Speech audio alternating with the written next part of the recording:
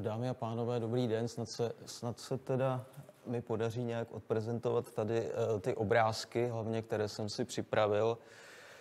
Uh, tak uh, název mého referátu je Otec vlasti, nic než komedie, Karel IV. ve filmu. Takže téma je tedy Karel IV. ve filmu, český historický film, český historismus a eh, pokusil bych se ještě přihlédnout nějak teda eh, k otázce příslušných žánrů.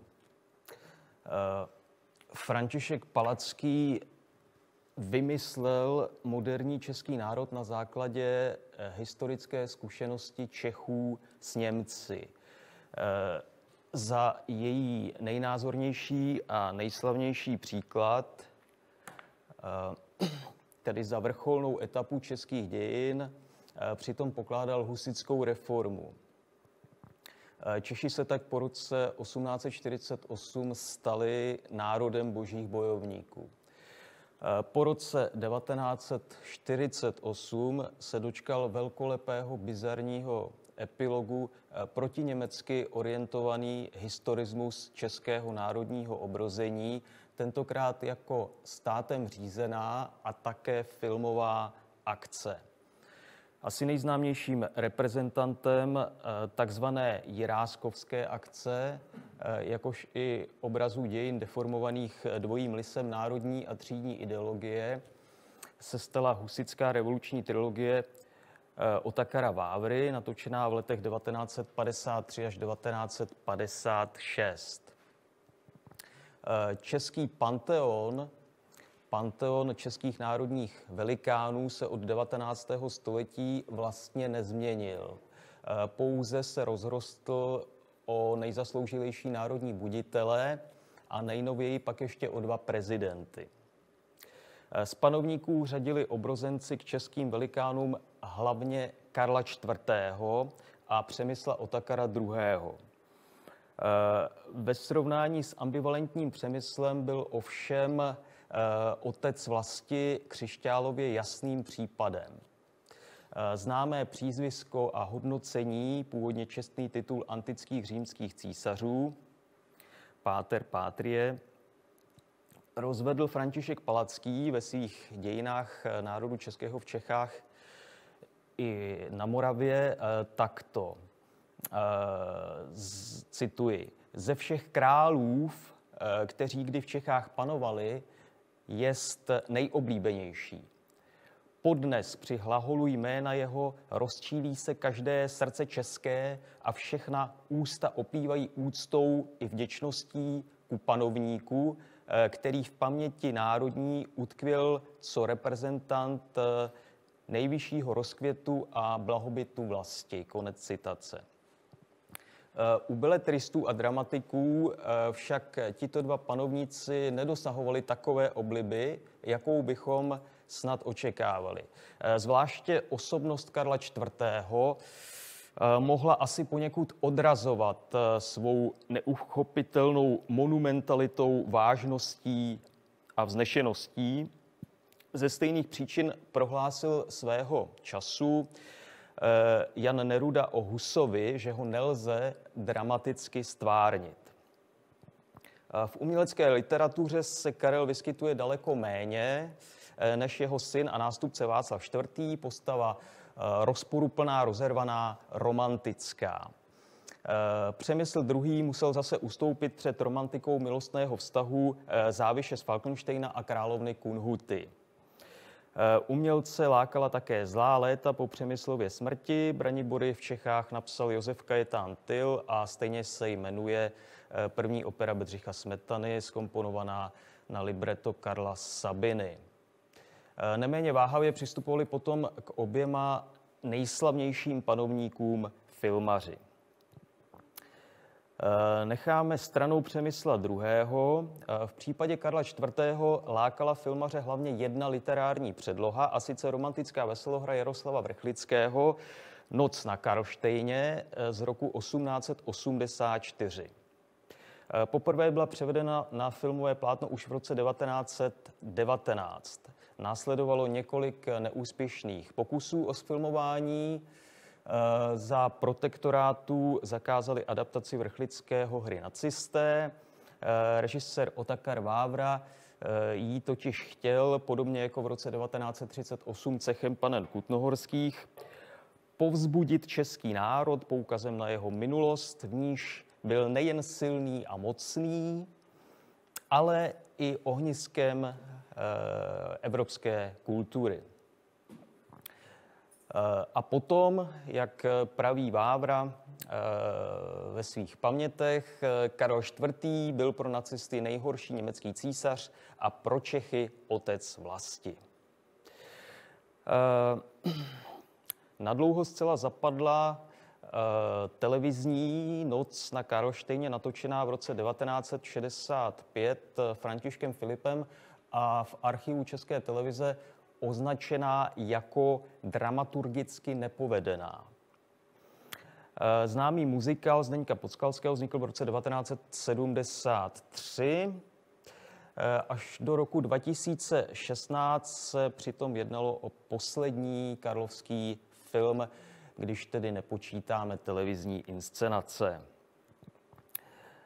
Eh, tím prvním eh, filmem byl v roce 1919 Stavitel chrámu eh, Karla Degla, adaptace staropražské pověsti o Petru Parléři, známé z jiráskových starých pověstí českých. Takže stavitel chrámů tady teda, tady teda vidíme, vidíme obrázek, který jsem si vypůjčil tedy z webu Národního filmového archivu že je opatřen i příslušným logem. Eh, na motivy karoštěnských vigílí eh, Františka Kupky natočil pak eh, Miroslav Cikán Alenu v roce 1947 zdařilou komedii bokačovského dekameronského typu a stejnou předlohu měli pak steklého, respektive Procházkovi slasti oce vlasti z roku 1969. Karel je ústřední postavou v posledně jmenovaném snímku. Eh, Noci na Karlštejně pak dominují jiné historické i fiktivní postavy. Eh, ve zbývajících dvou karlovských filmech eh, nahlížíme do řemeslnických dílen a hutí. V prvním případě hlavním nositelem děje ambiciozní mladý architekt, ve druhém případě záletná manželka platnerského mistra.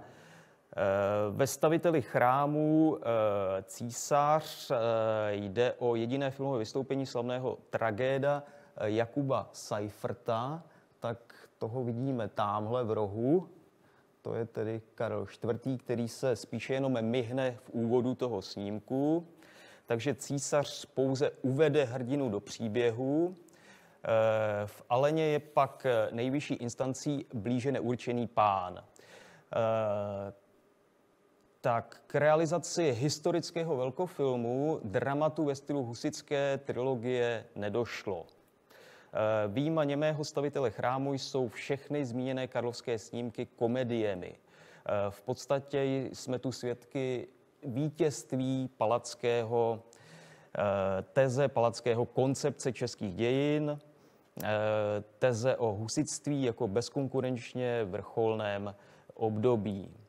Eh, což ovšem na druhou stranu zase nic eh, nemění na skutečnosti, že komunisté eh, převzali kompletní obrozenecký panteon uctívaných historických osobností, tedy i s Karlem IV., ač byl ukrutný feudál, jak se zpívá ve starcích na chmelu. Zdeněk Nejedlý zase při, přiznával Karlu IV. Eh, jakousi míru úcty s tou argumentací, že přece i husité Karla IV. ctili. Eh, obraz panovníka bývá pravidla eh, tradicionalistický. Z řady charakteristických masek vyčnívá Karel, ještě ne čtvrtý, ve slastech otce vlasti. Eh, Steklý si tu dovolil věc, která, které se žádný další nebo žádný režisér před ním ani po něm neodvážil, a sice zpracování Karlových životních osudů, markraběcích začátků s humorným nadhledem.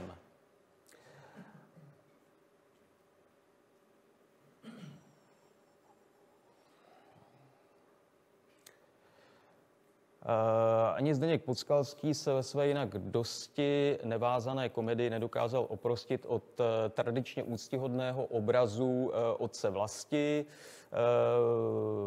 Mimo jiné vložil spravedlivému monarchovi do úst výrok, který na začátku 70. let, kdy film vznikl, působil podle pamětníků dosti odvážně.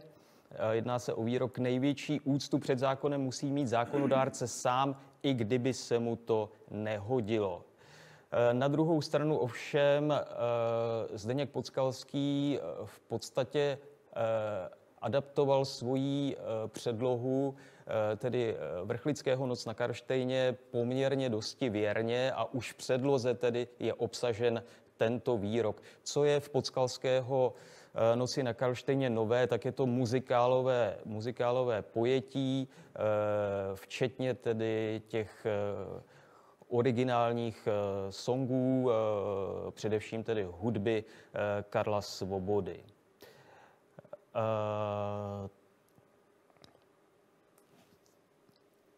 Jo, tak tady máme, tady máme předchozí tedy předchozí eh, Noc na Karštejně televizní z roku 1965 eh, označenou, označenou tedy, jak jsem se zmínil, jako dramaturgicky nepovedenou. Karla IV. nám tady stvárnil Vladimír Ráš.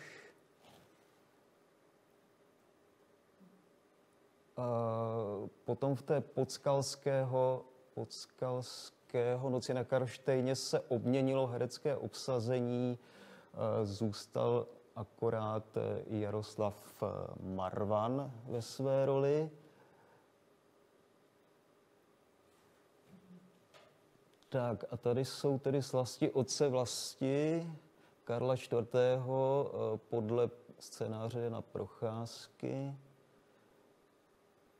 Jo, tak tady máme, jo, k tomu se dostaneme. E, tak, e, f, f, f. Já bych poměrně vyzdvihoval, vyzdvihoval tedy zejména ty slasti otce vlasti z roku 1969, které se koncentrují na Eh, jaksi osobní eh, soukromý život eh, mladého Karla. Jakkoliv se může zdát, že Karel Jaromír, v podání Jaromíra Hanzlíka se v závěru filmu dobírá nějaké národně politické odpovědnosti a uvědomuje si svou vyvolenost k velkým státnickým činům, Eh, je zcela jisté, že s naplňováním dějiného poslání to nebude mít vůbec jednoduché, neboť ty též, ty též dějiny eh, se mu chystají dopřát celkem čtyři manželství. Eh, především tedy taková pointa je filmu scénáře, nebýt onoho historického povědomí vystiženého slovy otec vlasti. Mohl by si divák dokonce myslet, že poloviční Lucemburg bude jednou kráčet v křivolakých šlépějích svého otce. Eh, král Jan v podání Miloše Kopeckého jako nenapravitelný, byť už poněkud opotřebovaný eh, požitkář a dobrodruh, eh, sarkasticky glosující život i politiku, představuje ve filmu pověstnou třešinku na dortu. K odlehčenému a zličťujícímu tónu přispívá hlavně romanticko-dobrodružné ladění filmu,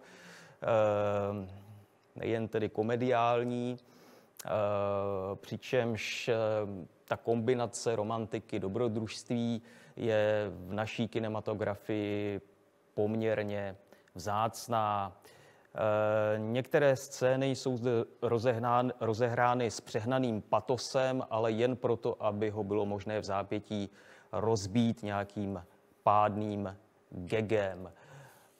Obě veselohry z teklého slasti otce vlasti i podskalského noc na Karlštejně předvádějí Karlovu politickou a kulturní kooperaci s církví. Nejde však o nějaký primární ideový záměr, jen o přirozenou dobovou kulisu. Ta by snad prošla i v dramatu, můžeme-li soudit třeba podle husické trilogie.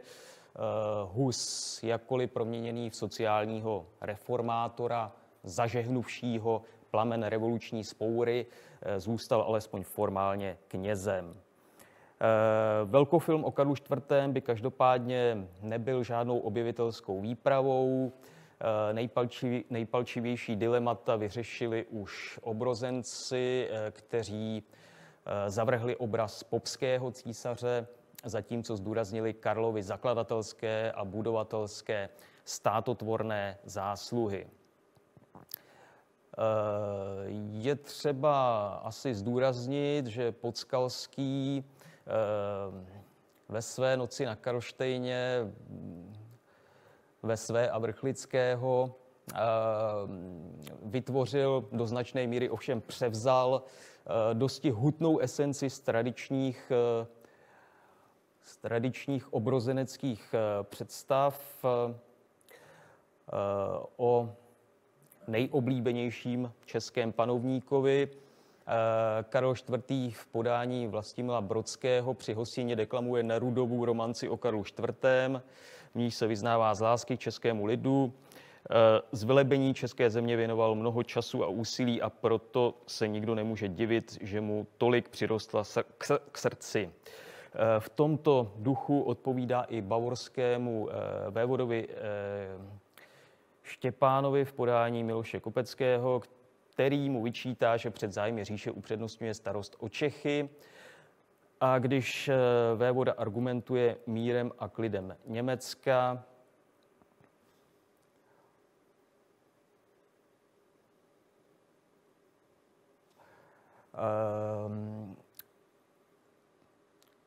Karel se na něj utrhne, vmete mu do tváře, vy sami se staráte, aby dlouho netrval, což je opět tedy výrok obsažený už u Vrchlického. Celý obraz, tolik nepřípadný v muzikálové veselohře, je vlastně parafrází příslušných pasáží palackého dějin. Počínaje falešnými německými představami o Karlově vině na neutěšených poměrech v říši a konče pletením proutěných košů, kterým se císař při jednání s bavorským vyslancem zabývá. Za pozornost stojí i další filmový výrok otce vlasti. Císař uléhá jako, jako poslední sedlák. Tak tady je to pletení košů, jasně. Císař, císař uléhá jako poslední sedlák, snad jen umdlen více. Rustikální motivy dotváří obraz spravedlivého lidového panovníka. Noc na Karlštejně, Podskalského noc na Karlštejně zároveň souznila s jistým dobovým ideovým a dramaturgickým trendem. Toto romantické, stejně jako královské zaměření bylo pro 70. léta poměrně příznačné. Hlavní dramaturgický proud normalizační filmové a televizní tvorby měl být vyhrazen socialistické přítomnosti, takže starší dějiny se stávaly spíše únikovým tématem. Komunisté už nepotřebovali dokazovat, že jsou dědici velkých tradic českého národa. Nyní šlo o bezprostřední heroizaci režimu. Na rozdíl od populárního muzikálu zcela zapadla z teklého hra o královnu z roku 1980 s pracovním názvem Urozený playboy, historická komedie o milostném trůhelníku závis Falkensteina Kudhuta Přemysl II. Objevilo se i několik televizních inscenací, mimo jiné Královské řádění, natočené Evženem Sokolovským v roce 1974, líčící Karla IV. v dobovém stylu zdravého pozemšťanství. Zatímco dosud vždy dával přednost plnění státnických povinností, nyní usiluje starnoucí Karel už jen o to získat lásku své poslední manželky, mladičké Alžběty Pomořanské. Ehm, naštěstí záhy vyjde najevo, že Alžběta svou píchu jenom hrála. Ehm, odlehčené dějiny z borského prostředí, romantické variace na životní osudy českých králů a královen ehm, se ovšem nejvíce prosadily v beletrii, vys tvorba Ludmily Vaňkové, Františka Neužila a tak dále. Eh, bez ohledu na žánrové preference, eh, řemeslné poklesky a tak dále si však filmové, televizní i literární reprezentace středověkých dějin v zásadě pořád uchovávaly hluboký smysl pro stereotypní a tradiční obrozenecké pojetí.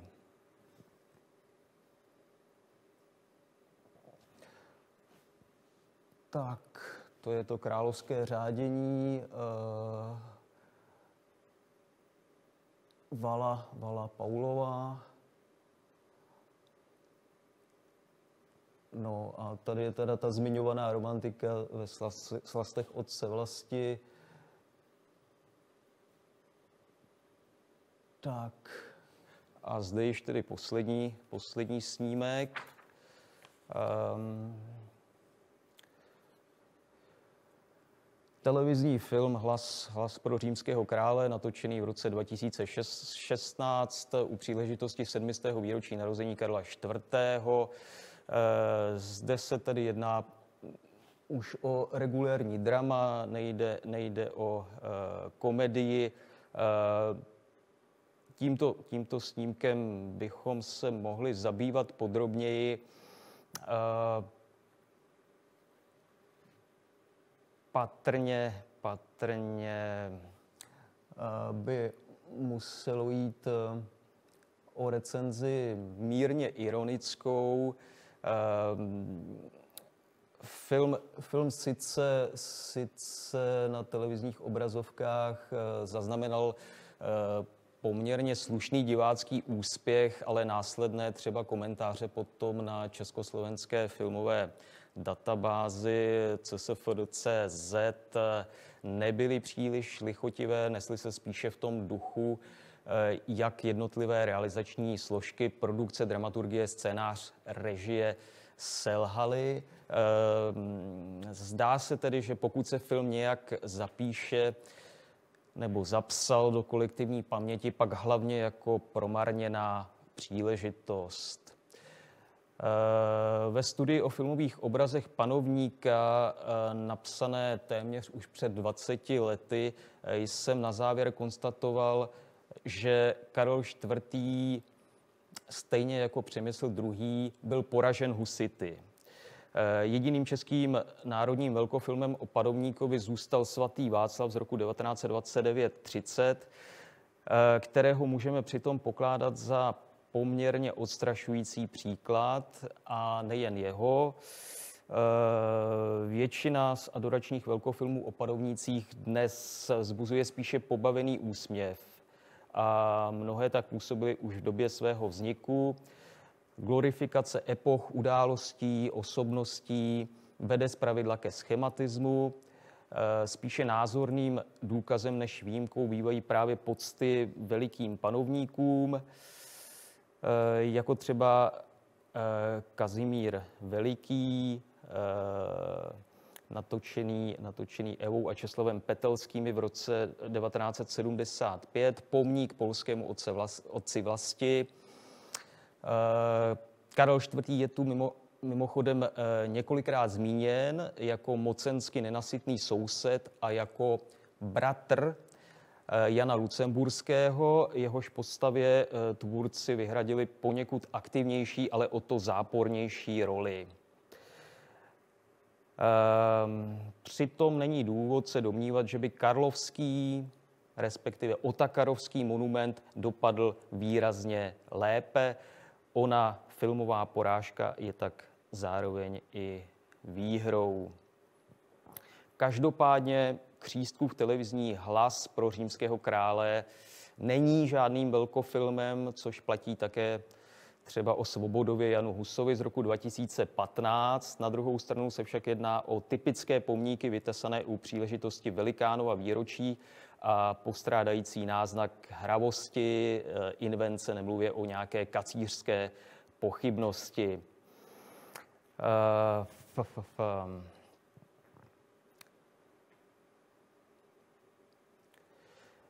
Historickou paměť o Karlu IV. formují populární televizemi hojně reprízované filmy Slasti otce vlasti a Noc na Karlštejně, konec konců eh, ukázky právě, jako, eh, právě z těchto filmů, především, eh, především tedy z těch slastí otce vlasti, byly použity v rámci televizní ankety Největší Čech v roce, v roce 2005, v níž tedy se Karel IV., otec vlasti, umístil eh, na prvním místě.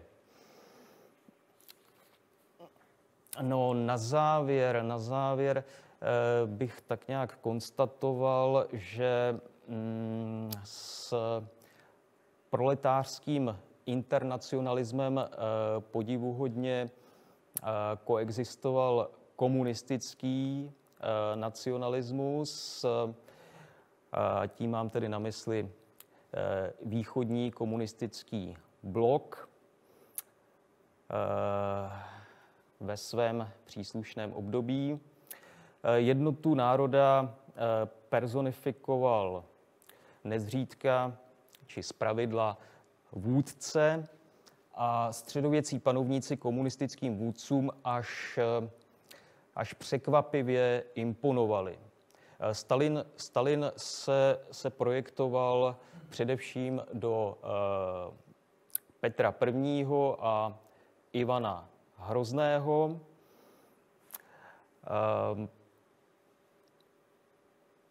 v roce, v roce 1973 uh, vznikl, vznikla pak komedie o Ivanu Hrozném, zároveň parodie na Eisensteinův, eh, na Eisensteinova Ivana Hrozného. Eh,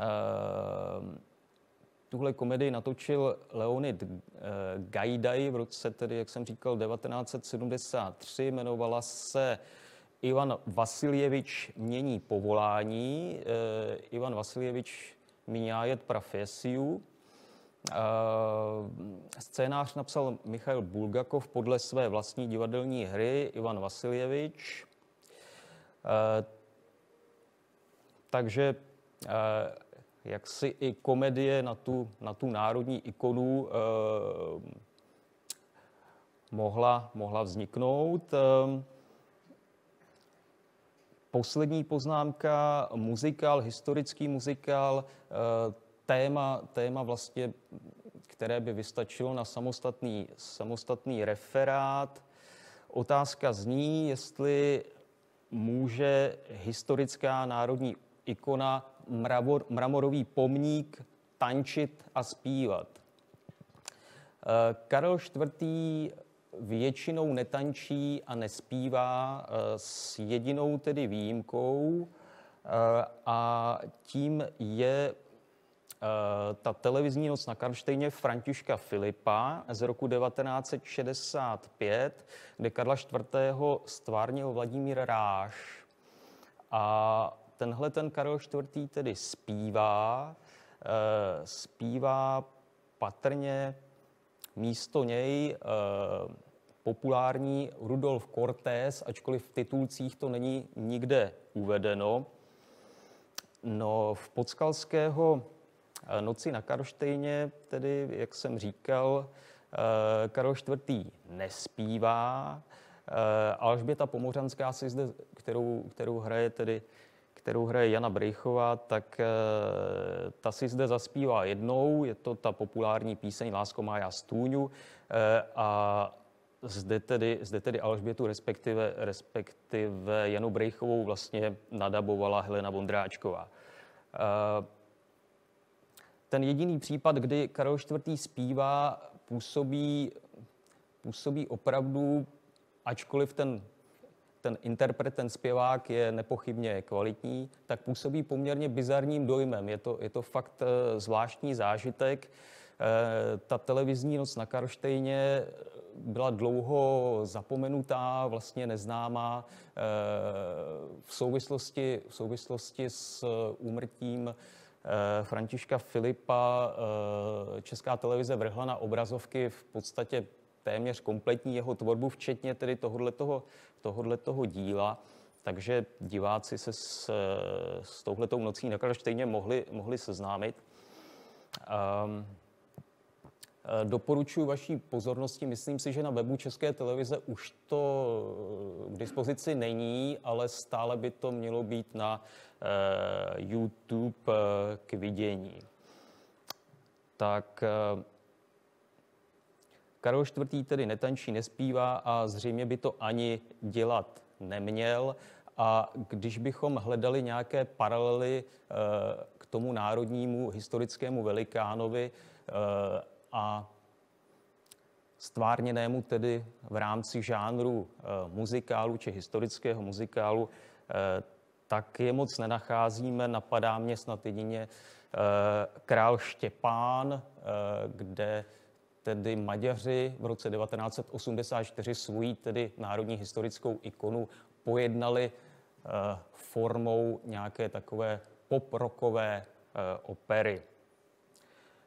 Tak eh, tolik, tolik na závěr, eh, tím bych asi pomalu eh, končil. Děkuji vám za pozornost.